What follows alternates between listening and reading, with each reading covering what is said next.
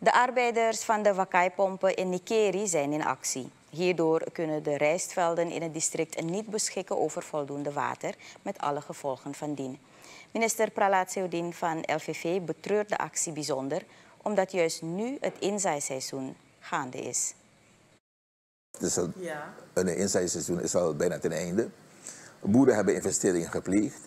Vorig jaar heb ik een, uh, door allerlei uh, combinaties en uh, door in te grijpen van mijn begroting, waar ik niet eens geld op had, maar een, twee van de vier pompen heb ik toen een, gereed gemaakt. Tenminste, en, de monteurs zijn langs geweest uit Nederland om die een, een productie klaar te maken. En maar helaas, die pompen zijn er, kunnen draaien, maar nu is er een staking. Dus ik weet niet hoe dat opgelost gaat worden op korte termijn. Ik weet dat de regering bezig is, mhm. en uh, mijn collega-ministers. Maar ik hoop dat liever vandaag dan morgen uh, opgelost is. De arbeiders zijn in actie voor onder andere loonsverhogingen. Maar dat deel ligt op het bord van het ministerie van Regionale Ontwikkeling en Sport.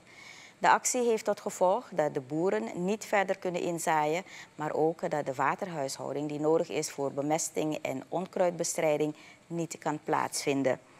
Minister Seudin zegt dat de waterstand in het MCP-kanaal op dit moment erg kritisch is en er dringend water moet worden gepompt. De bewindsman legt uit wat de stand van zaken is met betrekking tot de vier Wakai-pompen.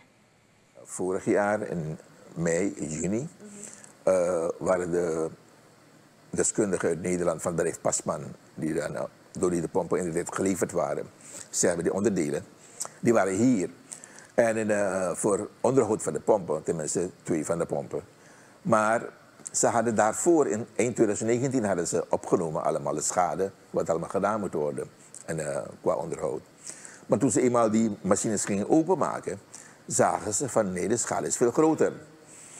En in, uh, je kunt mensen beschuldigen, maar in elk geval de schade was daar. En uh, toen kreeg ik het bericht van, nou, ze gaan vertrekken, want ze kunnen het werk, het werk niet voortzetten. Ik heb toen gezegd van, luister, die, en, uh, mensen van Pasman, ik weet wat je gaat doen, ik weet hoe je het gaat doen.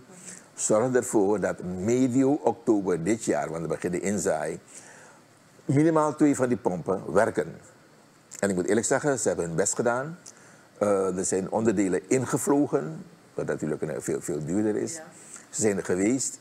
En in uh, eind van de eerste week van oktober ben ik zelf geweest naar Wakai. En ze hebben daar dan, eh, dan die twee pompen waar het om ging, hebben ze voor mij proef gedraaid. Ja. Om te laten zien van luister, we hebben ons werk gedaan. Ja. Dus wat dat, wat dat betreft waren we op tijd.